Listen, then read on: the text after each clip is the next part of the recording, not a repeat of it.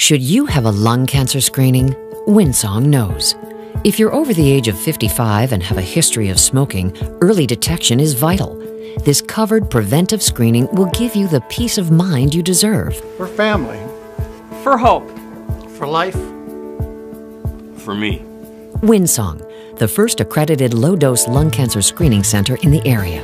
Talk to your doctor and find out from the experts at Windsong, where patients always come first.